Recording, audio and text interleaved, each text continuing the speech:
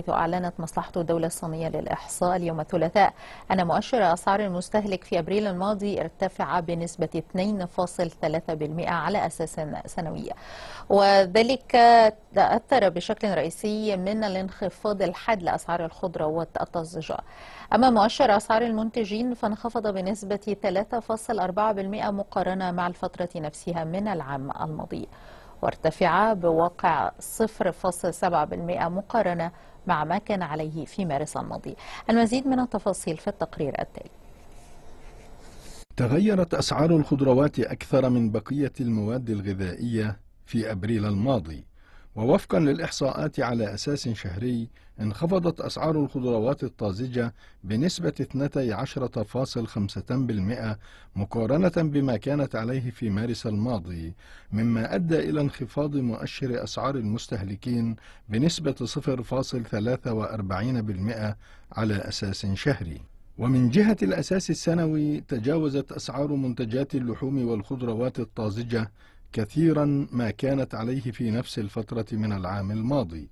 هذا وأشار محللون إلى أن الخضروات الطازجة استقبلت ذروة موسم العرض لها وأصبح تأثيرها محدودا على أسعار السلع الأساسية في وقت لاحق.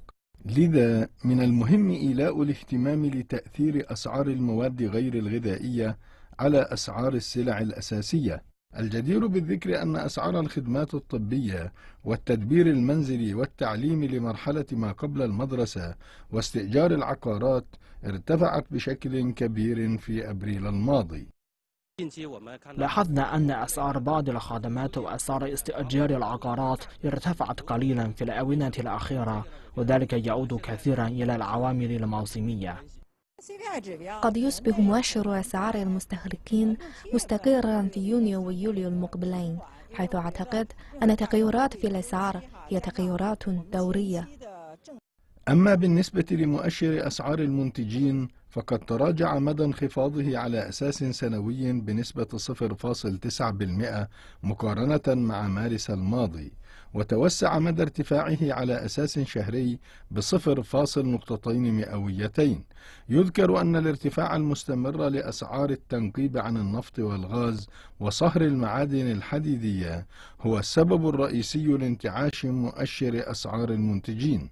هذا وقال المحللون إنه رغم أن ارتفاع أسعار السلع الأساسية ساعد على انتعاش مؤشر أسعار المنتجين إلا أن الطلب المحلي لا يزال غير كاف وما زالت عملية تخفيض المخزون وتخفيض قدرة الإنتاج المفرطة مستمرة حاليا لذلك يواجه مؤشر أسعار المنتجين اتجاها غامضا في المستقبل.